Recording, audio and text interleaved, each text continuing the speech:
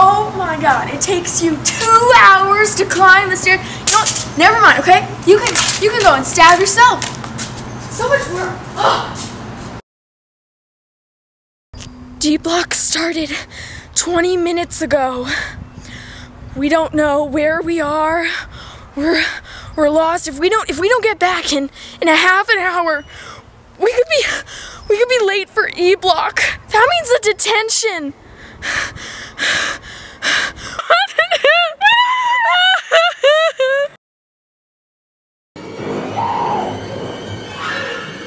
Here's Johnny.